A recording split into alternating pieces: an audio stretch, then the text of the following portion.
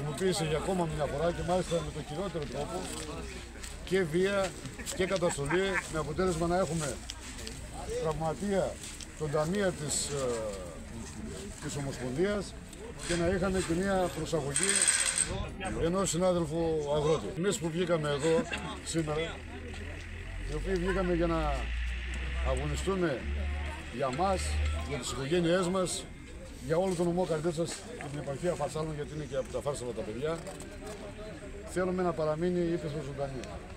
Δεν θέλουμε να φύγουμε από εδώ, δεν θέλουμε να εγκαταλείψουμε τα χωριά μας, δεν θέλουμε να εγκαταλείψουμε τα χωράφια μας, ούτε τα μαντριά μας.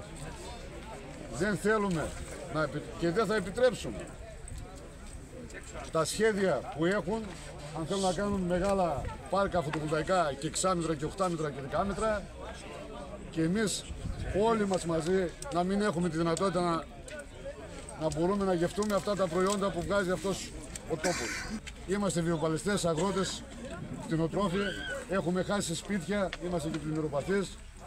Αυτά τα προβλήματα θα παλέψουμε εδώ να, δω, να, να λυθούν.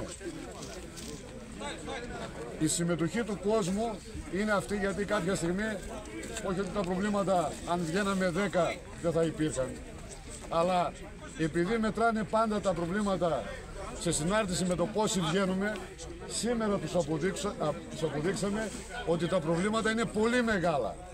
Και από αύριο που θα έχουμε κι, άλλα, κι άλλους συναδέλφους εδώ, από όλα τα χωριά, που θα έρθουν εδώ, θα τους δείξουμε ότι ο αγώνας αυτός θα είναι μέχρι να, να μας λύσουν όλα τα προβλήματα. Σας ευχαριστούμε και θέλουμε τη συμπαράσταση όλου του νομού Καρδίτσας να είστε εδώ δίπλα μας και τα σωματεία και οι εργαζόμενοι κοινός ο αγώνας να συνεχίσουμε ενωμένοι να απαιτήσουμε αυτά που έχουμε ανάγκη να λυθούν.